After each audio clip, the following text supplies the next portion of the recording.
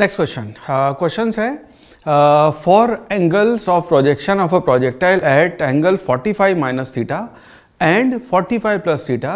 The horizontal range described by the projectile are in the ratio of option है 2 is to 1 1 is to 1 2 is to 3 and 1 is to uh, 2 और ये question पूछा गया 2006 के exam uh, में। ना बड़ा सिंपल सवाल है इसका आंसर हमें पता है कि अगर कोई प्रोजेक्टाइल आपका कॉम्प्लीमेंट्री एंगल्स पे लॉन्च किया जाए which is theta and 90 minus theta so उसकी रेंज बराबर होती है। लेट्स से के लेट्स प्रूव और लेट्स टॉक अबाउट दिस कि क्या 45 प्लस थीटा या 45 minus theta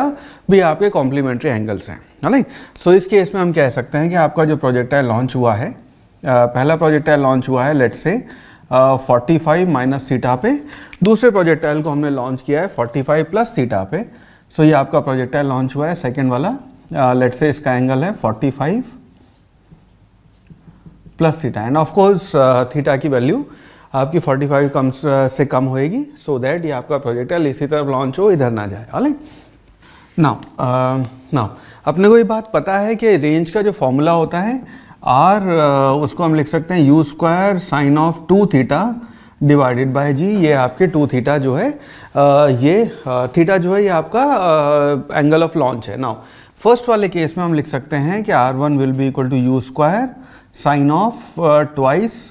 forty five minus theta divided by g इसको अगर एक्सपेंड करेंगे so this will be u square sine of 90 minus two theta divided by g और R two की value हो जाएगी u square sine of twice